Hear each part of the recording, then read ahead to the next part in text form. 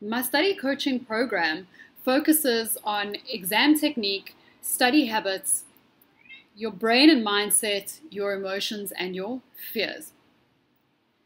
Everything we do in our studies is in order to get through that exam, in order to in order to pass that exam.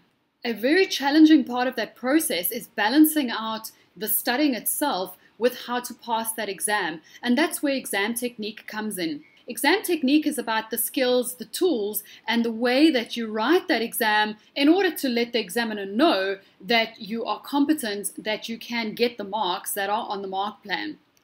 That means that you need, in a lot of cases, to change your study habits and to improve your study habits. You need to change the way that you study in order to practice getting the marks that you need in that exam. We underestimate the impact that our feelings, our emotions, and what's going on in our brain, we underestimate the impact that that has on our study habits and therefore our exam technique.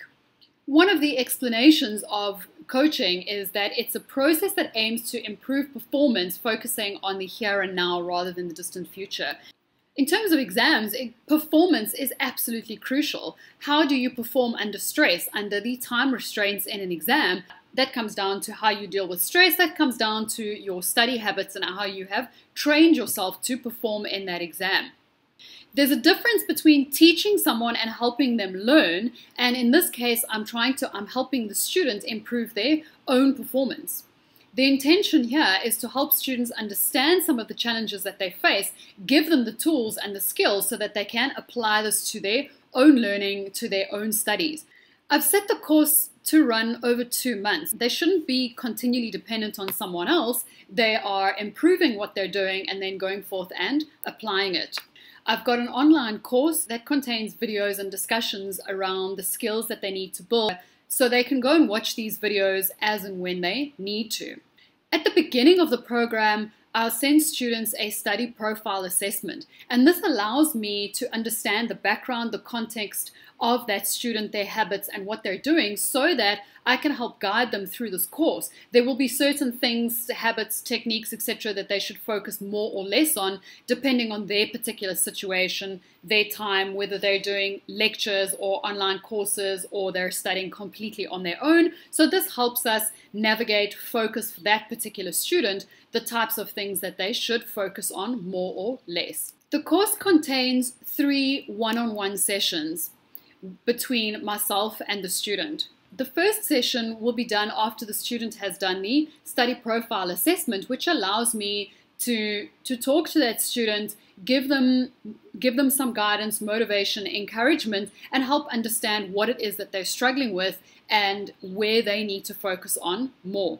The course consists of three sessions in total, the first session being done after the study profile and the other two sessions spaced out after that depending on the student's needs.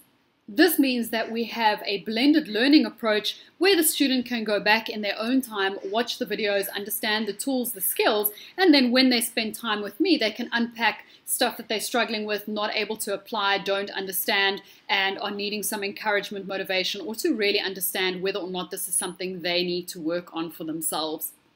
I send students emails on a regular basis.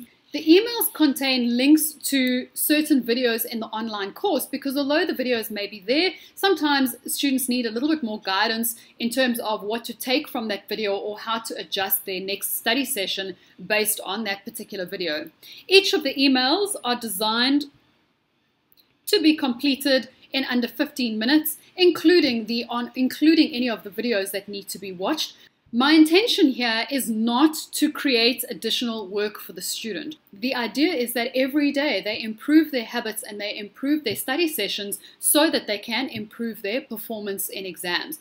I'm not adding additional time, I'm not adding additional work, additional homework on top of what they're already doing. I'm helping them structure their existing schedule. Whether they're going to classes, whether they're doing online courses, whether they have tutors, or whether they're going through the textbook, they need to learn how to maximize whatever they're doing and whatever time they have available.